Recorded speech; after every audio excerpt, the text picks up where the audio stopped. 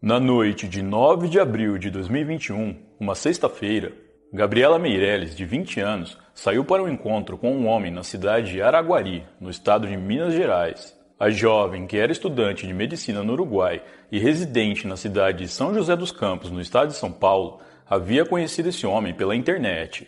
Araguari é uma cidade com pouco mais de 115 mil habitantes que fica a cerca de 600 quilômetros de Belo Horizonte e apenas 30 quilômetros de Uberlândia.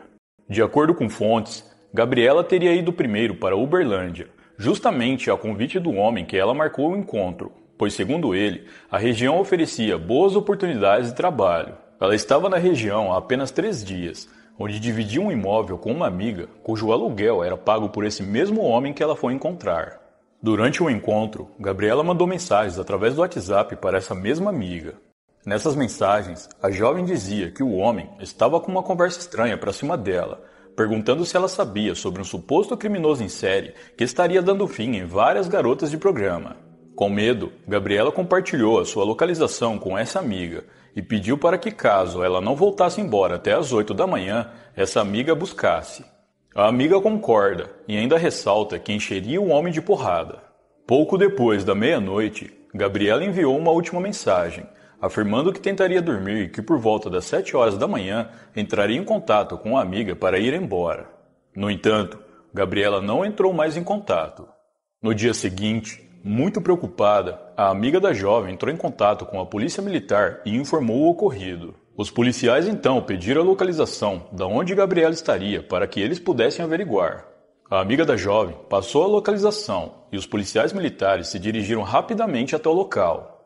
Ao chegarem no endereço, os policiais bateram e chamaram no portão, mas ninguém os atendeu. Nesse mesmo momento, eles sentiram um cheiro muito forte de água sanitária vindo da residência e, desconfiados, eles decidiram entrar.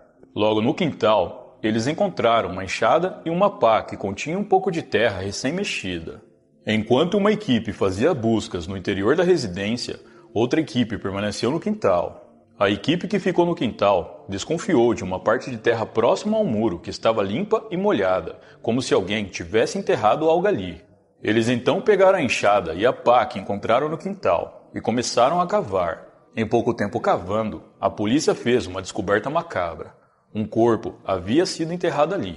Era a Gabriela. Enquanto isso, a equipe que fazia buscas no interior da residência encontrou alguns documentos que os ajudaram a identificar o homem que estava com a jovem na noite anterior. Se tratava de José Hamilton de Jesus, um mototaxista de 43 anos. Após uma rápida pesquisa, os policiais descobriram que o homem já havia sido preso no ano de 2006 por ter tirado a vida da própria esposa e a ter enterrado embaixo de sua cama. Na época, José Hamilton foi julgado e condenado a 12 anos pelo crime. Porém, ele ficou apenas seis anos preso, sendo libertado em 2012. Devido a esse histórico e às demais evidências, José Hamilton passou a ser o principal suspeito pelo crime contra Gabriela. De imediato, os policiais começaram a coletar informações com o objetivo de descobrirem o paradeiro do homem. Em conversa com os vizinhos, eles descobriram que foram ouvidos barulhos de disparos de armas de fogo vindo da residência onde Gabriela foi encontrada. Os vizinhos disseram ainda que José Hamilton andava meio deprimido nos últimos meses e costumava falar sobre tirar própria vida com frequência. Enquanto os policiais continuavam a levantar informações que os levassem até o suspeito, o corpo de Gabriela foi enviado para a perícia. De acordo com o laudo, a jovem tinha uma perfuração na cabeça ocasionada por um disparo. Eu não encontrei informações se haviam outros sinais de violência, mas o que se sabe é que foi o disparo que causou seu falecimento. A amiga de Gabriela foi informada do ocorrido.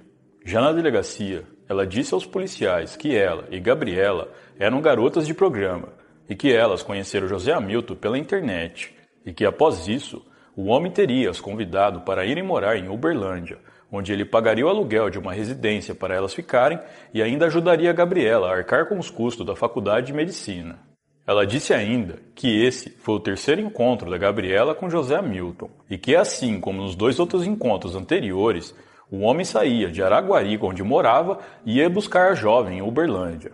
Durante uma entrevista, essa mesma amiga disse que o grande sonho de Gabriela era concluir a faculdade para depois prestar prova para a polícia e se tornar médica legista. Mas infelizmente, esse sonho tinha partido junto com ela. Eu não encontrei informações em onde exatamente na internet José Hamilton conheceu as jovens, se foi em redes sociais, apps de relacionamentos ou algo do tipo, mas a hipótese mais provável é que tenha sido em um site de acompanhantes. Ao serem informados do ocorrido, a família da jovem ficou desolada. Cristiane dos Santos Meireles, mãe de Gabriela, disse em entrevistas que a filha era uma menina meiga e que só estava correndo atrás do seu sonho. Ela disse que a filha queria se formar na faculdade para dar muito orgulho a ela e à família. Cristiane disse ainda que criou as filhas com muito custo, vendendo salgados na rua e fazendo faxina, em que ensinou tudo o que sabia para elas, para que as meninas pudessem trilhar um bom caminho. Itamara Meirelles, irmã gêmea de Gabriela, não chegou a dar muitas declarações para os jornalistas, mas em suas redes sociais ela postou o quanto estava arrasada com a perda da irmã. As duas eram muito unidas e apegadas, e quando estavam morando na mesma casa, costumavam fazer várias coisas juntas. A família disse que a escolha da jovem de cursar medicina no Uruguai foi devido ao baixo custo do curso naquele país, se comparado ao Brasil. No entanto, ela nunca chegou a ir até o país para cursar. Todas as aulas que ela teve foram online, devido às restrições por conta da pandemia. Na época dos fatos, alguns meios de comunicação noticiaram que José Hamilton estava pagando a faculdade de Gabriela. No entanto, isso foi desmentido pela família, que disse que Gabriela só conhecia o homem há alguns dias e que ele nunca chegou a pagar nada referente à faculdade da jovem. A família disse também que não sabiam que Gabriela havia se mudado para Uberlândia junto com outra amiga, e muito menos tinham conhecimento a respeito de José Hamilton e de que a jovem era garota de programa. Segundo eles, antes de se mudar para Minas Gerais, a jovem morava em Angra dos Reis, no Rio de Janeiro, onde tinha um namorado, no entanto, ela havia terminado o relacionamento já fazia algum tempo. As buscas por José Hamilton haviam se intensificado. A polícia, depois de coletar diversas informações, conseguiu descobrir o seu esconderijo. José Hamilton estava em um assentamento localizado no bairro São Sebastião, ainda em Araguari. Quando os policiais chegaram ao local e deram voz de prisão ao homem, ele reagiu a tiros. Uma rápida troca de tiros culminou com José Hamilton baleado. O socorro foi chamado e o criminoso foi levado às pressas ao hospital, mas mesmo assim não teve jeito e ele veio a óbito. Com José Hamilton, os policiais encontraram três armas de fogo e quase 7 mil reais em dinheiro. Após uma breve investigação, os policiais descobriram que a origem desse dinheiro era proveniente da venda de uma moto. De acordo com a polícia, depois de cometer o crime, José Hamilton teria vendido a sua moto a um preço bem abaixo da tabela dizendo ao comprador que precisava de dinheiro rápido.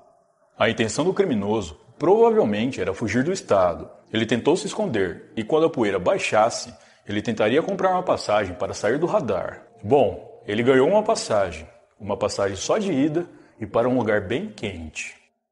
Em julho de 2021, a Polícia Civil finalizou o inquérito do caso, já que o responsável pelo crime não estava mais vivo. Segundo eles, o crime não foi premeditado e as motivações que levaram José Hamilton a cometê-lo são incertas.